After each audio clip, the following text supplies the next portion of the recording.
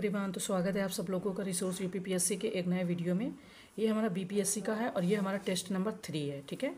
और ये modern history and Bihar history मतलब जो बिहार का स्पेशल कह सकते हैं बीपीएससी स्पेशल वो पेपर है।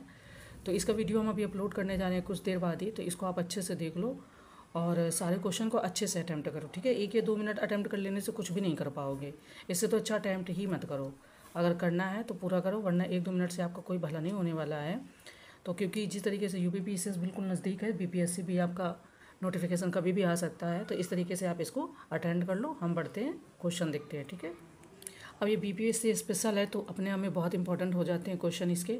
तो हम बाईलिंगुअल देखेंगे, हिंदी को सॉल्व करेंगे और इंग्लिश को भी देखते चलेंगे, जैसे अन्य क्वेश्चन में करते हैं, है ना? बात करें तो फ़र्स्ट क्वेश्चन है कि निम्नलिखित में से किस विद्वान ने भारतीय इतिहास को तीन कालखंडों, अर्थात हिंदू, मुस्लिम और ईसाई में विभाजित किया है?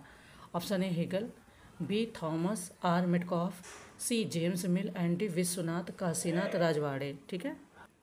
तो बात करें यहाँ पर, अगर आपने इसको पढ़ा है, कहीं देखा होगा तो आपको समझ में आएगा। जेम्स मिल एक स्कॉटिश दार्शनिक है। स्कॉटिश दार्शनिक और इतिहासकार और अर्थशास्त्री हैं। मिल दार्शनिक कट्टरवाद का प्रतिनिधि हैं। एक विचारधारा जिसे उपयोगितावाद के नाम से भी जाना जाता है। उपयोगितावाद ने दर्शन के लिए वैज्ञानिक आधार के साथ साथ राजनीति और अर्थशास्त्र के लिए मानवतावादी दृष्टिकोण की भी आवश्यकता पर ज़ोर दिया है। उनके पुत्र जॉन स्टुअर्ट मिल एक प्रसिद्ध उपयोगितावादी विचारक हैं। विचारक हैं। तो जेम्स मिल ने 1808 में उपयोगितावाद की स्थापना करने वाले जेरेमी बेंथम से परिचित हुए। मतलब ये उनके बारे में पूरी एक तरीके से डिटेल चीज़ें बताई गई हैं। तो उन्होंने यूरोपीय पाठकों के बीच उपमहाद्वीप की लगातार पिछड़े और अविकसित छवि को भी लोकप्रिय बनाया। अपनी पुस्तक में मिल ने भारतीय इतिहास को तीन कालखंडों में अर्थात हिंदू, मुस्लिम और ईसाई में विभाजित किया था। मोटा मोटा अगर समझोगे तो यहाँ पर सी ऑप्शन हो जाएगा आपका जेम्स मिल। लेकिन डायरेक्ट केवल कि जेम्स मिल कौन थे, ऐसे कैसे तो कुछ चीज़ें उनके बारे में अगर पढ़ लोगे तो अच्छे से क्लियर हो जाएगा। नेक्स्ट क्वेश्चन हमारा कि अट्ठारहवीं शताब्दी के दौरान भारत में सामाजिक आर्थिक स्थितियों के संदर्भ में निम्नलिखित कथनों पर विचार करें। ऑप्शन फ़र्स्ट मकदब प्रारंभिक शिक्षा की संस्थाएँ थी। सेकंड चतुष्पति उच्च शिक्षा के संस्थान थे। थर्ड सती प्रथा और बाल विवाह समाज से खत्म हो गए। तो कह रहे, उपरोक्त में से कौन सा कथन सही है? अब ये चार ऑप्शन दिए गए हैं। ए केवल फ़र्स्ट और सेकेंड बी केवल सेकेंड और थर्ड सी केवल फ़र्स्ट और थर्ड या डी फ़र्स्ट सेकेंड और थर्ड अब हमें बताना है कि इनमें से कितने ऑप्शन हमारे सही हैं। तो बात करें तो आपका फ़र्स्ट और सेकेंड सत्य है, ठीक है? यानी कि सही है। थर्ड आपका यहाँ पर कह रहे हैं कि पर्दा प्रथा, सती, बाल विवाह और बहु विवाह जैसी कुछ पुरानी और शोषणकारी सामाजिक प्रथाएँ और परंपराएँ मौजूद थी, जो अट्ठारहवीं शताब्दी के दौरान महिलाओं की प्रगति में बाधक थी। हिंदू विधवाओं की दुर्दशा आमतौर पर दयनीय होती थी तो ये आपका सही नहीं है। तो फ़र्स्ट और सेकेंड हमारी यहाँ पर अट्ठारहवीं शताब्दी के आसपास सही हो जाएँगे। नेक्स्ट कह रहे हैं कि ब्रह्म समाज के लिए निम्नलिखित में से कौन सा कथन सही है? ऑप्शन फ़र्स्ट इसने मूर्ति पूजा का विरोध किया। सेकंड इसने वेदों की अचूकता की वकालत की। थर्ड इसमें अन्य धर्मों की शिक्षाओं को भी शामिल किया गया। तो नीचे दिए गए कोड को उपयोग करके सही उत्तर चुनना है। ऑप्शन ए केवल थर्ड बी केवल फ़र्स्ट और सेकेंड सी केवल फ़र्स्ट और थर्ड या डी फ़र्स्ट सेकेंड और थर्ड तो ब्रह्म समाज के बारे में कह रहे हैं। आपको तीन ऑप्शन दिए गए हैं। ठीक है और ध्यान से अगर आप देखोगे तो आपको यहाँ पर समझ में आ जाएगा। देखो, अगर कुछ चीज़ें समझोगे तो पता चलेगा कि क्या इसमें होगा। ब्रह्मों का शाब्दिक अर्थ है वह जो ब्रह्मा की पूजा करता है। ब्रह्म समाज की शुरुआत 20 अगस्त अठारह सौ अट्ठाईस को राजा राम मोहन राय और देवेंद्र नाथ टैगोर द्वारा कलकत्ता में उस समय के प्रचलित ब्राह्मणवाद विशेष रूप से कुलीन प्रथाओं के सुधार के रूप में की गई थी, ठीक है? तो रॉय मतलब राजा राम मोहन रॉय और देवेंद्र नाथ टैगोर ने उस समय के प्रचलित ब्राह्मणवाद ब्रह्म समाज ने उन्नीसवीं सदी के बंगाल पुनर्जागरण की भी शुरुआत की। तो यहाँ पर ब्रह्म समाज के बारे में हम बात कर रहे हैं। तो अगर बात करें तो ये करें कि देवे मतलब राजा राम मोहन रॉय और देवेंद्र नाथ टैगोर ने उस समय के प्रचलित ब्राह्मणवाद विशेष रूप से कुलीन प्रथाओं के सुधार के रूप में ब्रह्म समाज ने उन्नीसवीं सदी के बंगाल पुनर्जागरण की शुरुआत की।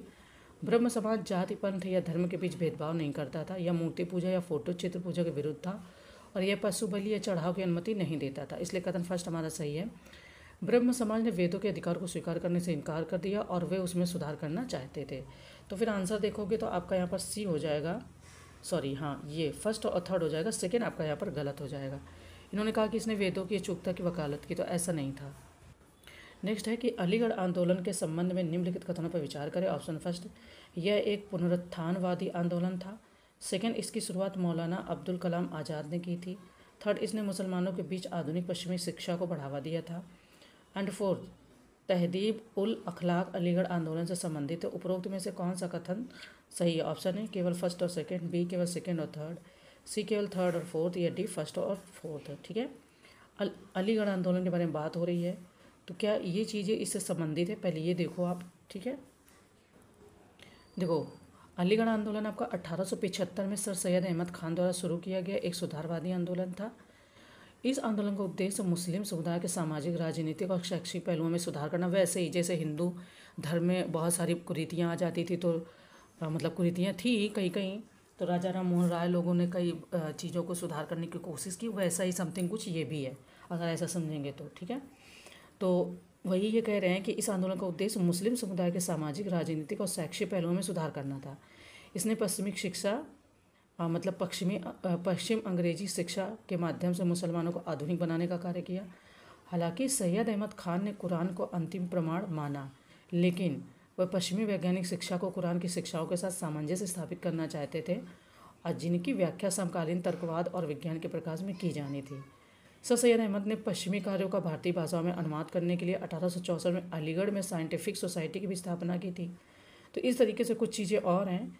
जो इनके बारे में सत्य हैं तो आंसर की बात करेंगे तो फिर हमारा फ़र्स्ट नहीं सही होगा। ठीक है, फ़र्स्ट नहीं सही होगा और सेकंड भी आपका सही। इसके शुरुआत मौलाना अबुल कलाम नहीं, सैयद, सर सैयद अहमद खान ने की थी, ठीक है? तो जब आप इस तरीके से देखते हैं कि सेकेंड गलत है सेकेंड गलत है तो ये भी गलत है, ये भी गलत है। अब इन दोनों में कोई होना चाहिए तो सी ऑप्शन हमारा यहाँ पर सही है, ठीक है? देखिए, एक कथन के रूप में क्वेश्चन पूछ रहे कि वह इंडियन नेशनल एसोसिएशन के संस्थापक सदस्य थे। आनंद मोहन बोस उनके संरक्षक थे। उन्होंने एटी सेवेंटी नाइन में बंगाली अखबार शुरू किया। ईश्वर चंद्र विद्यासागर ने उन्हें मेट्रोपॉलिटन इंस्टीट्यूशन में अंग्रेज़ी का प्रोफेसर बनाया। उन्हें ट्रम्पेट वक्ता कहा जाता था। उपयुक्त कथनों में से किसका वर्णन किया जा रहा है? ठीक है प्रोफेसर तो ऑप्शन ए कह रहे विष्णु शास्त्री, चिपलूणकर, बी सुरेंद्र नाथ बनर्जी, सी खुदीराम बोस, या डी जगदीश चंद्र बोस। तो अब बताना है कि इसमें से कौन सा सही होगा। वह इंडियन नेशनल एसोसिएशन के संस्थापक सदस्यों में थे एक थे, ठीक है? ये इनका कहना है। तो अगर आंसर की बात करें कि यहाँ पर हमारा क्या आंसर होगा तो उपयुक्त कथन सुरेंद्र नाथ बनर्जी को दर्शाते हैं, ठीक है? उन्हें राष्ट्रगुरु के नाम से भी जाना जाता। है उन्होंने राजनीति राजनीतिक कार्रवाई के लिए हिंदुओं और मुसलमानों की एकता की वकालत की। वह भारतीय राष्ट्रीय कांग्रेस के संस्थापक सदस्यों में से भी एक थे।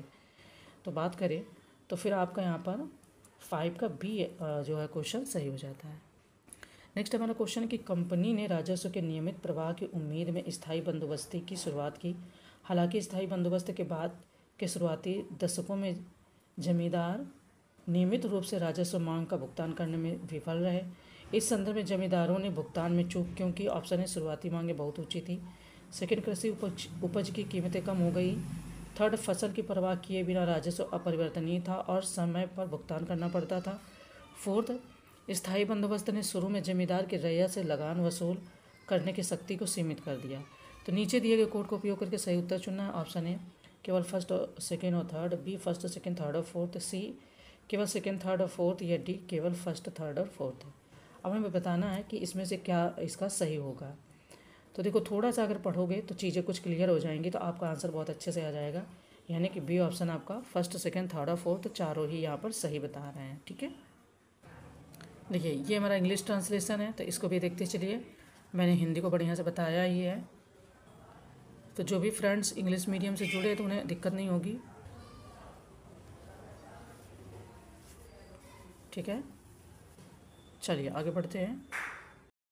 नेक्स्ट कह रहे हैं कि राष्ट्रीय आंदोलन के संदर्भ में तीन जून योजना किसके वा, किसके वायसराय काल में प्रस्तावित की गई थी? ऑप्शन है Lord Wavell, B Lord Mountbatten C Sir Patrick Lawrence and D Lord Linlithgow ठीक है? तो बहुत इंपॉर्टेंट है क्वेश्चन देखो, जब हिस्ट्री पढ़ते हैं मॉडर्न हिस्ट्री तो माउंट बेटन योजना का नाम सुनते हैं।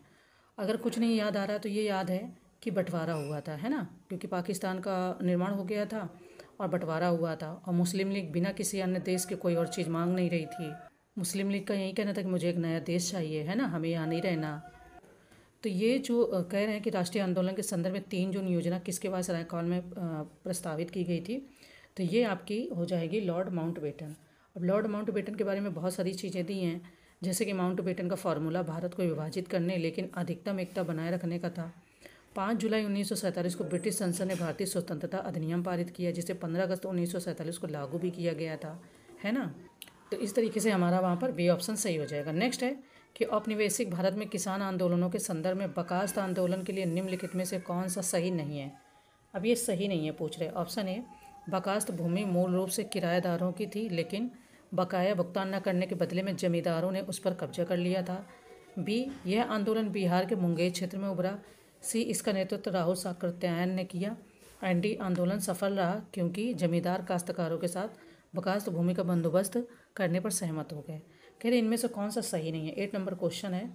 तो बात करें तो इसका नेतृत्व राहुल सक्रेतायन ने नहीं किया, बल्कि बल्कि स्वामी सहजानंद सरस्वती के नेतृत्व में किसान सभा के आह्वान पर बड़ी संख्या में किसानों ने जमींदारों और ब्रिटिश प्रशासनिक व्यवस्था के खिलाफ विरोध किया था। बकास्त भूमि आंदोलन एक हद तक काश्तकारी अधिकारों को बरकरार रखने में सफल रहा। आखिरकार जमींदार किराएदारों के साथ बकास्त भूमि के समझौते पर सहमत हो गए। तो सी ऑप्शन इसका यहाँ पर सही नहीं होगा, ठीक है? नेक्स्ट है कि भारत के आधुनिक इतिहास के संदर्भ में Max Muller, Monier, Williams, Roth और ससोन, आरजी भंडारकर और आर एल मित्रा में क्या समानता? ऑप्शन है, भारत के अतीत की पुनः खोज के प्रयास, बी प्रमुख हड़प्पा स्थलों की खुदाई सी वे गांधी जी के घनिष्ठ सहयोगी थी डी ये सभी राष्ट्रवादी समाचार पत्र के संपादक थे। तो ये जो इतने नाम हम लोगों ने पढ़े हैं अभी तो बताना है कि किससे संबंधित थे? देखो तो बात करें मोनियर विलियम्स, रोथ ससोन जैसे यूरोपीय विद्वानों और R G Bhandarkar, R L Mitra, और बाद में स्वामी विवेकानंद जैसे भारतीय विद्वानों के ऐतिहासिक शोधों ने भारत के अतीत के गौरव और महानता की एक पूरी तरह से नई तस्वीर बनाई। तो उपयुक्त तो विलियम जोन्स के अलावा अलेक्जेंडर कन्निघम और जेम्स प्रिंसेप ने भी भारत के गौरवशाली अतीत की पुनः खोज में महत्वपूर्ण भूमिका निभाई। तो इस तरीके से अगर बात करें तो हम कह सकते हैं कि ऑप्शन ए इसका ये सही आंसर होगा। यानी कि ये जो चार पाँच नाम है, ये किससे जुड़े हैं? तो ये भारत के अतीत की पुनः खोज के प्रयास से जुड़े हैं, ठीक है? ऐसा नहीं कि सारे लोग ही भारत के खिलाफ थे। कुछ कुछ ऐसे थे जो समझते थे कि यहाँ पर शोषण हो रहा है और हमें इनका साथ देना चाहिए, ठीक है? तो कुछ लिबरल लोग भी थे, बाकी जैसे थे वो तो आपके सामने ही हैं। नेक्स्ट क्वेश्चन की बात की जाए तो कह रहे हैं कि निम्नलिखित में से किस वायसराय के कार्यकाल के दौरान सिविल सेवाओं को इम्पीरियल प्रांतीय और अधीनस्थ सेवाओं में वर्गीकृत किया गया था? ऑप्शन है Lord Ellenborough B Lord Lansdowne C Lord Dalhousie and D Lord Metcalfe बात करें यहाँ पर तो लॉर्ड लेंसडाउन जो अठारह सौ अट्ठासी से चौरानवे तक भारत के वायसराय थे, उनके कार्यकाल के दौरान सिविल सेवाओं को इम्पीरियल प्रांतीय और अधीनस्थ सेवा में वर्गीकृत किया गया। इम्पीरियल सेवाओं की बात करोगे तो भर्ती और नियंत्रण प्राधिकारी राज्य सचिव था, जबकि प्रांतीय सेवाओं के लिए नियुक्ति एवं नियंत्रण प्राधिकारी, वो आपके राज्य सचिव नहीं, बल्कि संबंधित प्रांतीय सरकार होती थी। तो यहाँ पर अगर इस क्वेश्चन का, ये क्वेश्चन हमारा आता है तो हम यहाँ पर कह सकते हैं कि लॉर्ड लेंस डाउन ठीक है, कौन हो जाएगा? लॉर्ड लेंस डाउन ये एटी से एटी एट तक और प्लस नाइन्टी फोर तक भारत में रहे थे, ठीक है? नेक्स्ट हमारा क्वेश्चन पूछ रहा है कि अट्ठारह के इल्बर्ट बिल में यह प्रावधान था कि ब्रिटिश प्रजा का मुकदमा सत्र न्यायालयों में भारतीय न्यायाधीश द्वारा चलाया जाएगा। इस विधेयक का यूरोपीय लोगों में उग्र विरोध हुआ, क्योंकि वे भारतीय को हीन मानते थे। इस संदर्भ में इल्बर्ट बिल के संबंध में संघर्ष का अंतिम समाधान क्या था? ठीक है? ऐसा हमने सुना है ना कि वो लोग कहते थे कि नहीं, भारतीय हमारा मुकदमा नहीं चलाएँगे, और चलाएँगे तो वो विरोध कर रहे थे। तो देखो ऑप्शन है, इसे वायसराय रिपन द्वारा निरस्त कर दिया गया। बी इसमें संशोधन करके यह प्रावधान किया गया कि केवल यूरोपीय न्यायाधीश ही यूरोपीय विषयों पर मुकदमा चला सकेंगे। सी कह रहे हैं कि इसमें यह प्रावधान जोड़ा गया कि यदि किसी भारतीय न्यायाधीश को किसी यूरोपीय व्यक्ति पर मुकदमा चलाना है तो जूरी फिफ्टी प्रतिशत यूरोपीय सदस्य होने चाहिए एंड डी इनमें से कोई भी नहीं। पहली बात तो एक तरीके से मोटा मोटा समझ सकते हो कि ये उनको प्रॉब्लम थी। वो नहीं चाहते थे कि भारतीय हमारा मुकदमा चलाए। लेकिन फिर इसका समाधान क्या निकाला गया? बहुत अच्छा क्वेश्चन बनाया गया है। देखो, जो इल्बर्ट बिल विधेयक एट्टी एट्टी थ्री में पेश किया गया था तो सर कर्टने इल्बर्ट, जो भारतीय परिषद के कानूनी सलाहकार थे, ने भारतीय न्यायाधीश को यूरोपीय लोगों के खिलाफ मामलों की सुनवाई करने का अधिकार दिया, ठीक है? इल्बर्ट बिल की शुरुआत से पहले भारतीय मजिस्ट्रेटों को ब्रिटिश विषयों पर मुकदमा चलाने की अनुमति नहीं थी। हालाँकि इस विधेयक का यूरोपीय लोगों ने तीव्र विरोध किया। इससे भारतीयों के प्रति यूरोपीय लोगों के व्यापक नस्लीय पूर्वाग्रह का पता चला। भारत में रहने वाली अधिकांश ब्रिटिश महिलाओं द्वारा इल्बर्ट बिल की लोकप्रिय अस्वीकृति के परिणाम स्वरूप वायसना रिपन ने एक संशोधन पारित किया, जिसके तहत यदि एक भारतीय न्यायाधीश को अदालत में एक यूरोपीय का सामना करना है तो फिफ्टी प्रतिशत यूरोपीय लोगों की जूरी की आवश्यकता पड़ती है या आवश्यकता थी। अंततः ये विधेयक पच्चीस जनवरी एटी एटी फोर को क्रिमिनल प्रोड्यूसर कोड संशोधन अधिनियम एटी एटी फोर के रूप में पारित किया गया। तो मतलब संशोधन किया गया मोटा मोटा कह सकते हैं, ठीक है? तो इसी ऑप्शन हमारा यहाँ पर सही हो जाएगा। अब मोटी बात है सोचने वाली कि उन्हें इतनी प्रॉब्लम थी कि भारतीय अगर केस देखते हैं या मतलब समाधान करते इससे प्रॉब्लम थी और हमें कितनी प्रॉब्लम उनसे हुई, है ना? चलो, आगे बढ़ते हैं। नेक्स्ट कह रहे हैं कि, कहते हैं कि क्रांति का रंग लाल होता है, हमेशा नहीं कभी कभी यह नीला होता है और वह एटी फिफ्टी नाइन की गर्मी थी जब हज़ारों रैयत किसान यूरोपीय बागान मालिकों के खिलाफ खड़े थे। यह क्रोध और अटूट संकल्प का प्रदर्शन था। यह भारतीय इतिहास के सबसे उल्लेखनीय किसान आंदोलन आंदोलनों में से एक बन गया था। तो उपरोक्त वाक्यांश वर्णन करता, ऑप्शन है पवना विद्रोह, बी बंगाल का नील विद्रोह, सी दक्कन दंगे एंटी एक आंदोलन। एटी फिफ्टी नाइन है। तो आपका होना चाहिए समथिंग देखो, मैं गेस कर रही थी, क्यों? क्योंकि जब आपको ऐसे देते हैं तो क्या ऐसे कांड हुए होंगे या क्या ऐसी चीज़ें हुई होंगी? तो अट्ठारहवीं शताब्दी के अंत से बंगाल में नील की खेती की जा रही थी। कथन पूरा पढ़ लिया है, आपने कथन को समझ लिया। अब देखो, अगर गेस वर्क करोगे तो आप ए या बी में थोड़ा कन्फ्यूज़ हो सकते हो। अगर क्लियर है तो फिर कन्फ्यूज़न की कोई बात ही नहीं है। ये रिवोल्ट आपका एटी फिफ्टी नाइन के समय का है तो आप बहुत आराम से बी ऑप्शन है आपका बंगाल का नील विद्रोह, ठीक है? अब ये क्या हुआ था? तो अट्ठारहवीं शताब्दी के अंत से बंगाल में नील की खेती की जा रही थी। इसका अभ्यास मुख्यतः दो रूपों में किया जाता था निज आबाद और रयोती। निज प्रणाली में बागान मालिक उस भूमि पर नील का उत्पादन करता था, जिस पर उसका सीधा नियंत्रण होता था। अच्छा ये कुछ डिफरेंस दिया गया रैयत और बागान के बारे में तो उसको आप अच्छे से पढ़ लोगे तो आपको क्लियर हो जाएगा। तो जब इस तरीके से देखेंगे तो आपको इस कॉन्सेप्ट से आंसर तो पता चल गया, पर थोड़ी चीज़ें डिटेल में पढ़ लेना, ताकि इसी से अगर मिलता जुलता कोई क्वेश्चन ये लोग बनाते हैं तो आप आराम से कर ले जाओगे। 1860 में नियुक्त आयोग ने पाया कि नील की खेती प्रणाली विशेष रूप से अग्रिम प्रणाली के कारण दमनकारी प्रकृति की थी। तो इसलिए ये आपका रिवोल्ट हुआ था। आगे बढ़ते हैं फ़िलहाल क्वेश्चन में। नेक्स्ट क्वेश्चन है। नेक्स्ट है कि औपनिवेशिक भारत में निम्नलिखित में से कौन सा सुधार ब्रिटिश अधिकारियों की उपयोगिता व दृष्टिकोण की अभिव्यक्ति नहीं था? अब चूँकि यहाँ पर नहीं था, ये इसलिए ध्यान रखना है। ऑप्शन ए विलियम बेंटिक द्वारा सती प्रथा और बाल शिशु हत्या का उन्मूलन। सेकंड है, सामाजिक परिवर्तन के लिए कानून का शासन एक आवश्यक पूर्व शर्त है। सी है 1835 का शिक्षा मिनट। एंड डी है, प्राच्यवादी जनता के लिए स्थानीय भाषा में शिक्षा के पक्षधर थे। तो कह रहे कि अपने वैश्विक भारत में निम्नलिखित में से कौन सा सुधार ब्रिटिश अधिकारियों की उपयोगितावाद दृष्टिकोण की अभिव्यक्ति नहीं था? यानी इनमें से जो ये सुधार किए गए थे, ये उन्होंने क्यों किए थे? तो बात करें अगर यहाँ पर तो सी ऑप्शन कह रहे हैं, एटी थर्टी फाइव का शिक्षा मिंट। देखो, विलियम बेंटिक द्वारा सती प्रथा और बाल शिशु हत्या का उन्मूलन किया क्योंकि वह मिल के प्रबल अनुयायी थे। कानून के शासन की अवधारणा की आवश्यकता है, क्योंकि यह समाज के सुधार की पूर्व शर्त है। प्राच्यविद कलकत्ता मदरसा सत्रह सौ इक्यासी एशियाटिक सोसाइटी ऑफ़ बंगाल सत्रह सौ चौरासी और बनारस में संस्कृत कॉलेज सत्रह सौ चौरानवे जैसे संस्थाओं की स्थापना करके जनता के लिए स्थायी भाषा में शिक्षा के पक्षधार हैं और भारतीय परंपरा में उनकी आस्था ने भारतीयों को उनका सच्चा धर्म की ओर वापस लौटाने की इच्छा जगाई। तो कुछ चीज़ें हैं, उनको पढ़ते जाना, हम बढ़ते हैं फ़िलहाल आगे। नेक्स्ट कि मार्च 1922 में गांधी की गिरफ्तारी या गांधी जी की गिरफ्तारी के बाद की घटनाओं के संदर्भ में निम्नलिखित कथनों पर विचार करें। Option first C R Das, Motilal Nehru और अजमल खान ने विधान परिषदों के बहिष्कार की वकालत की। सेकंड राजगोपालाचारी वल्लभ भाई पटेल, राजेंद्र प्रसाद और एम ए अंसारी विधान परिषदों में प्रवेश करना चाहते थे। तो उपयुक्त कथनों में से कौन सा सा सही है? ऑप्शन ए केवल फ़र्स्ट बी केवल सेकेंड सी फ़र्स्ट और सेकेंड दोनों डी ना तो फ़र्स्ट और ना ही सेकेंड बात करें अगर यहाँ पर हम देखो फ़र्स्ट ऑप्शन तो हमारा है यहाँ पर गलत, क्योंकि सी आर दास, मोतीलाल नेहरू और अजमल खान अपने हितों और इच्छाओं को सामने रखने के लिए विधान परिषदों में प्रवेश करना चाहते थे। यदि वे उनकी मांगों को स्वीकार करने में विफल रहे तो वे इन परिषदों के कामकाज में बाधा डालने का सहारा लेंगे। उन्होंने स्वराजवादियों के स्वरूप में जाना जाने लगा। कथन सेकेंड भी गलत है, क्योंकि राजगोपालाचारी वल्लभ भाई पटेल, राजेंद्र प्रसाद और एम ए अंसारी ने विधान परिषदों के बहिष्कार की वकालत की। उन्हें नो चेंजेस के नाम से जाना जाता है। तो ये ऑप्शन ऊपर नीचे कर दिए गए हैं।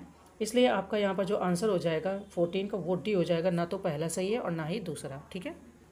नेक्स्ट है हमारा क्वेश्चन कि उन्नीसवीं सदी के भारत के संदर्भ में निम्नलिखित कथनों पर विचार करें। ऑप्शन फ़र्स्ट है, ईसाई मिशनरियों ने स्थानीय रीति रिवाजों को संरक्षित करने में मदद की। सेकेंड सिंह सभा आंदोलन का उद्देश्य सिखों के लिए आधुनिक पश्चिमी शिक्षा प्रदान करना था। थर्ड बंकिम चंद्र चट्टोपाध्याय कलकत्ता विश्वविद्यालय के पहले स्नात, स्नातकों में से एक थे। तो कह रही, ऊपर दिए गए कथनों में से कौन सा से सही है? अब ऑप्शन ए, केवल फ़र्स्ट और सेकेंड, बी, केवल सेकेंड और थर्ड, सी, केवल फ़र्स्ट और थर्ड, या डी, फ़र्स्ट, सेकेंड और थर्ड। अब ये उन्नीसवीं सदी की बात हो रही है तो 1813 के चार्टर अधिनियम के पारित होने के साथ ईसाई मिशनरियों को बिना किसी प्रतिबंध के भारत में प्रवेश करने की अनुमति दे दी गई, है ना? ये कह रहे हैं कि मदद की। एंड तो ऑप्शन हैं, पर इनके बारे में अच्छे से पहले पढ़ लो। ईसाई मिशनरियाँ जान, जनजातीय लोगों के बड़े पैमाने पर धर्मांतरण के लिए जिम्मेदार थी और उन पर स्थानीय रीति रिवाजों में हस्तक्षेप करने का आरोप लगाया गया था। इसलिए कथन फ़र्स्ट हमारे यहाँ पर सही नहीं है। जब फ़र्स्ट यहाँ पर गलत हो जाता है तो फिर ये भी गलत हो जाएगा, ये भी गलत हो जाएगा। तो अब इस तरीके से देखोगे तो कौन सा आंसर सही हो जाएगा? तो सेकेंड और थर्ड हमारे यहाँ पर सही हो जाएगा। यानी बंकिम चंद्र चट्टोपाध्याय कलकत्ता विश्वविद्यालय के पहले स्नातकों में से एक थे एंड सेकेंड भी हमारा सही है, ठीक है? चलो, आगे बढ़ते हैं। नेक्स्ट क्वेश्चन है कि वह एक ब्रह्म समाज सुधारवादी थे। उन्होंने बाल विवाह की निंदा की और विधवा पुनर्विवाह और अंतर्जातीय विवाह की वकालत की। हालाँकि जब उन्होंने अपनी चौदह वर्षीय बेटी की शादी कूच बिहार के महाराजा के बेटे से की, के बेटे से की तो इसने सार्वजनिक रूप से बाल विवाह के प्रति उनके विरोध को अस्वीकार कर दिया। उपरोक्त वाक्यांश में निम्नलिखित में से किसका वर्णन किया गया है? Option A, Raja Ram Mohan Roy. B Ishwar Chandra Vidyasagar. C, Keshub Chandra Sen, या डी, रविंद्रनाथ टैगोर। तो अगर बात की जाए यहाँ पर कि ये किसके बारे में बात हो रही है आई होप कि थोड़ा सा अगर आप आ, मतलब गेस करोगे तो केशव चंद्र सेन ब्रह्म समाज सुधारक थे। बाद में उन्होंने एटी सिक्सटी सिक्स में स्वयं अपने स्वयं के अलग भारत के ब्रह्म समाज की स्थापना की जबकि ब्रह्म समाज देवेंद्रनाथ टैगोर के नेतृत्व में रहा था। एट्टी फिफ्टी नाइन में उन्होंने एक छोटी सी संस्था का आयोजन किया जिसे संगत सभा के नाम से जाना जाता है। उन्होंने ईसाई धर्मशास्त्र को हिंदू विचार के ढांचे में शामिल करने का प्रयास किया। उन्होंने बाल विवाह की निंदा की और अठारह सौ बहत्तर में अपने समाज के विवाह संस्कार को कानून द्वारा मान्यता दिलाने में महत्वपूर्ण भूमिका निभाई। उन्होंने विधवा पुनर्विवाह, अंतर्जातीय विवाह मतलब ये सारी चीज़ें उन्होंने काफ़ी सारी की। एक जो आप याद रख सकते हैं, हालाँकि सेन ने मतलब यही ईश्वर केशव चंद्र सेन ने एट्टी सेवेंटी एट में अपनी चौदह वर्षीय बेटी को कूच बिहार के महाराजा नृपेंद्र नारायण के बेटे से शादी करने की अनुमति दी थी। तो ये एक ऐसा फैक्ट है जिससे आप यहाँ पर आ सकते हैं, आंसर को तुरंत ही टिक कर सकते हैं तो सी ऑप्शन हमारा यहाँ पर सही हो जाएगा। नेक्स्ट क्वेश्चन है कि स्वतंत्रता संग्राम के दौरान क्रांतिकारी गतिविधियों के संदर्भ में कामागाटा मारू होगा, कोमागाटा नहीं होगा। कामागाटा मारू घटना के संदर्भ में निम्नलिखित में से कौन सा सही नहीं है? हालाँकि ध्यान रखना है, यहाँ पर सही नहीं है बताना। ऑप्शन ए, यह एक भारतीय स्टीम शिप था जो पंजाब से लोगों को लेकर कनाडा के लिए रवाना हुआ था। बी, इसने पंजाब में विस्फोटक स्थिति पैदा कर दी थी। सी, यह गदर आंदोलन को बढ़ावा देने के कारणों में से एक था। एन, डी रास बिहारी बोस और सचिन सान्याल को गदर पार्टी, सॉरी, को गदर आंदोलन का नेतृत्व करने के लिए कहा गया था। तो इसमें से कौन सा सही नहीं है? अगर आंसर थोड़ा सा देखेंगे कामागटा मारू उस जहाज़ का नाम था जिसमें 370 यात्री सवार थे, जिनमें मुख्य रूप से सिख और पंजाबी मुस्लिम प्रवासी थे जो सिंगापुर से कनाडा के बैंकूवर जा रहे थे। तो यहाँ पर ए ऑप्शन हमारा यहाँ पर सही नहीं है। ये कह रहे कि यह एक भारतीय स्टीमशिप था तो यह भारतीय नहीं। यह एक कामागाटो कामागाटा मारू जो नाम है, ये एक जहाज़ का नाम है और इसमें यात्री सवार थे। सिख और पंजाबी मुस्लिम प्रवासी थे जो सिंगापुर से कनाडा जा रहे थे, ठीक है? तो इसलिए आपका फ़र्स्ट ऑप्शन यहाँ पर। इसका आंसर हो जाएगा, हम बढ़ते हैं आगे। क्वेश्चन के स्वतंत्रता संग्राम में राष्ट्रीय नेताओं की रणनीतियों के संदर्भ में निम्नलिखित में से किस पर प्रार्थना की राजनीति करने का आरोप लगाया गया था? ऑप्शन है मुस्लिम लीग बी नरमपंथी सी गरमपंथी, या डी बाल गंगाधर तिलक। बहुत सिंपल है, बिल्कुल आँख बंद करके आप लगा सकते हैं, ठीक? क्योंकि नरमपंथी लोग को ही राजनीति में मतलब वही प्रार्थना, पत्र लेने और देने वाली बातें कही गई थी, है ना? चलो आगे बढ़ते हैं। तो ये रहे हमारे इंग्लिश ट्रांसलेशन इनको भी देखते चलिए। और बहुत अच्छी टेस्ट सीरीज़ है, बहुत अच्छे क्वेश्चन इसमें बनाए गए हैं।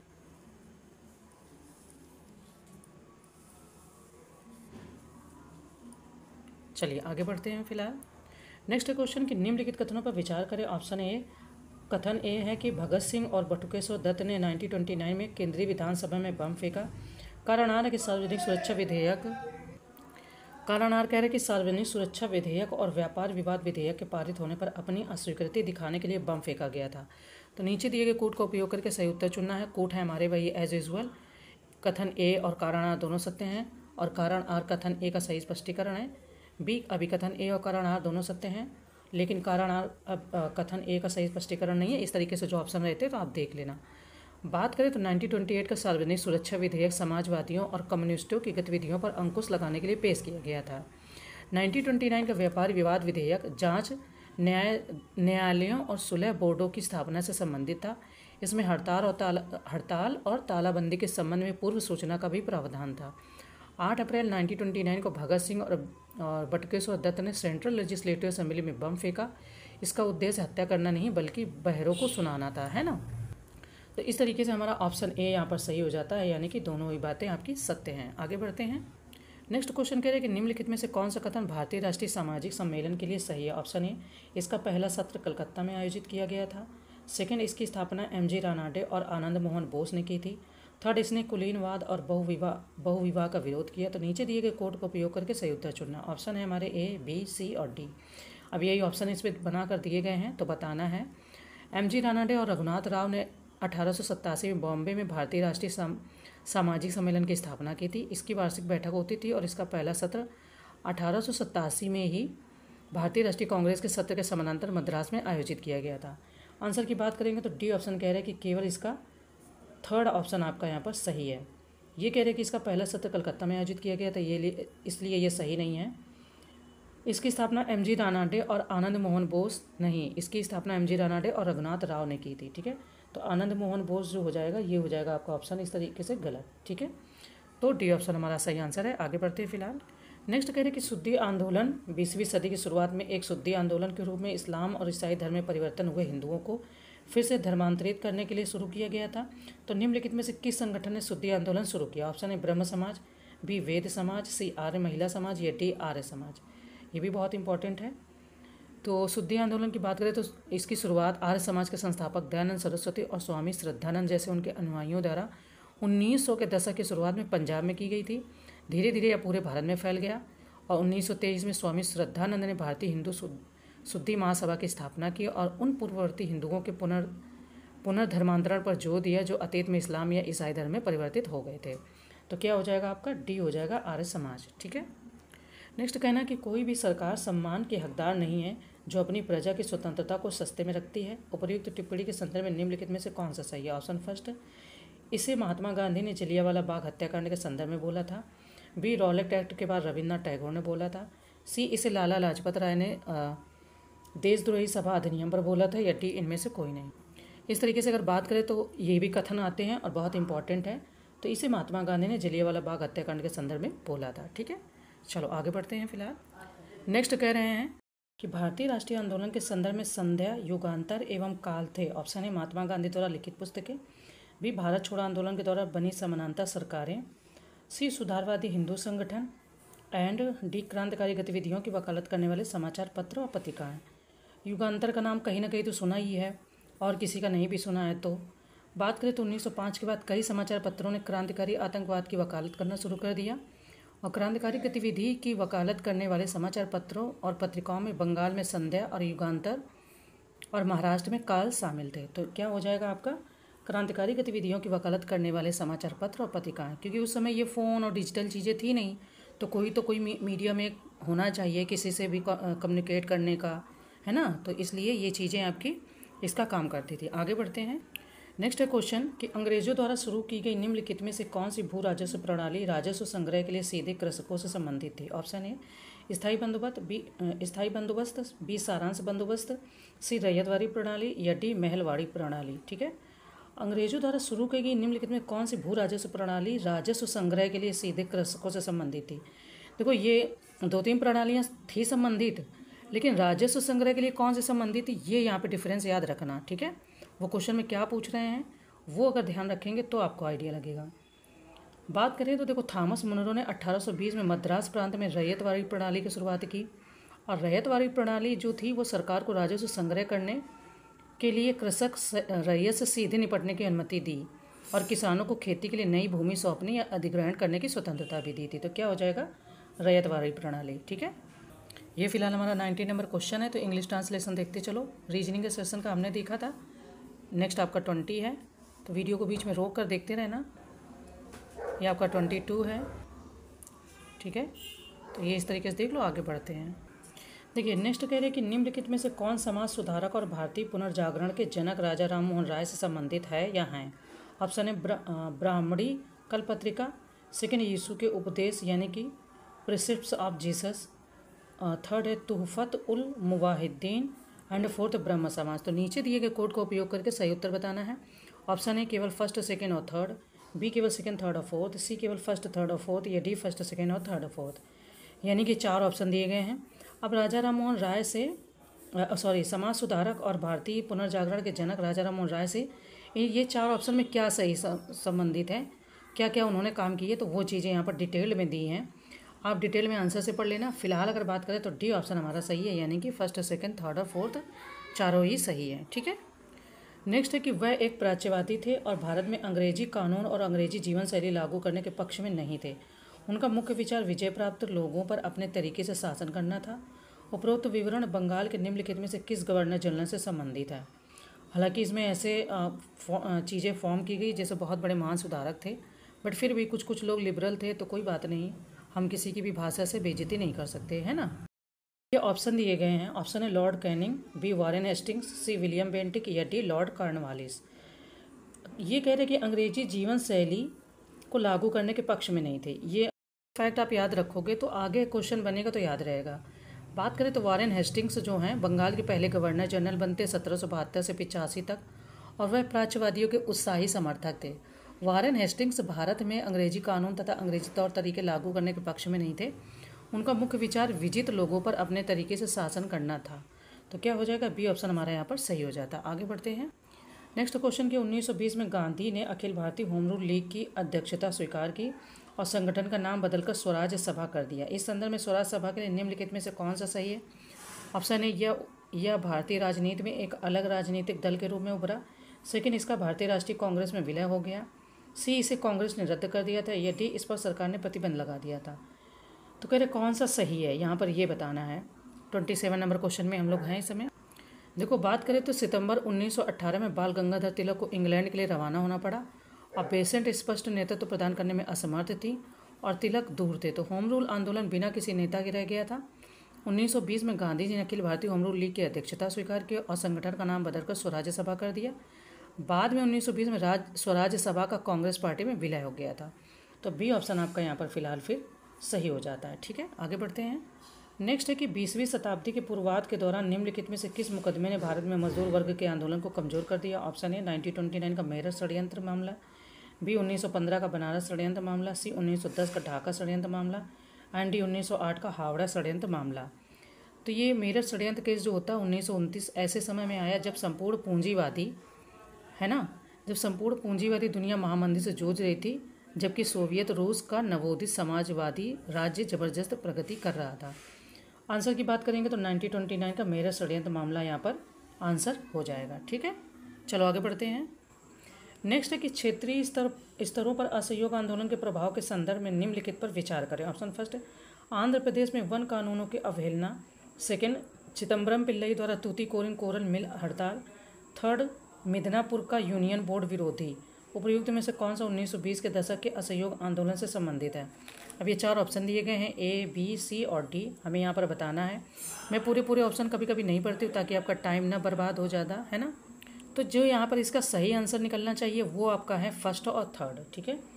फ़र्स्ट और थर्ड यानी कि सी ऑप्शन सही है। सितम्बरम पिल्लई द्वारा तूतीकोरिन कोरल मिल हड़ताल तो ये आपका यहाँ पर सही नहीं है। क्यों? क्योंकि गुंटूर ज़िले का जो पलनाडु क्षेत्र 1920 के दशक के असहयोग आंदोलन का केंद्र बन गया था। और तूतीकोरिन कोरल मिल हड़ताल का नेतृत्व तो चिदम्बरम पिल्लई ने किया था और इसे स्वदेशी आंदोलन के दौरान आयोजित किया गया था, ठीक है? नेक्स्ट है क्वेश्चन हमारा। कह रहे हैं कि निम्नलिखित कथनों पर विचार करें। ऑप्शन है ब्रिटिश शासन के प्रति असंतोष तीव्र। सेकेंड भारतीयों को हथियार रखने की अनुमति नहीं थी। थर्ड प्रेस को सख्त सेंसरशिप के अधीन रखा गया था। तो कह रहे औपनिवेशिक भारत के संदर्भ में उपयुक्त कथन किससे पूर्णतः संबंधित है? ऑप्शन है, सत्रहवीं शताब्दी के अंत में, बी, अठारहवीं शताब्दी का उत्तरार्ध, सी, उन्नीसवीं सदी की शुरुआत में, या डी, उन्नीसवीं शताब्दी का उत्तरार्ध। मतलब ये जो चीज़ें हुई हैं, ये कब हुई हैं, ये पूछ रहे हैं। तो उन्नीसवीं उन्नीसवीं शताब्दी का उत्तरार्ध, यानी second half of nineteen century अभी रात ज़्यादा हो गई है, शोर मतलब ये डॉगी वगैरह का आसपास हो रहा है तो हम क्या करते हैं? अभी थर्टी तक क्वेश्चन रखते हैं, फिर दो पार्ट में इसको फाइनल कर देंगे। ये इंपॉर्टेंट इसलिए है क्योंकि इसमें बिहार स्पेशल के क्वेश्चन बहुत सारे इंक्लूड हैं। जो भी आगे मिलेंगे तो आप अच्छे से इसकी तैयारी करते रहो और हम फिर मिलेंगे नेक्स्ट वीडियो में। Thank you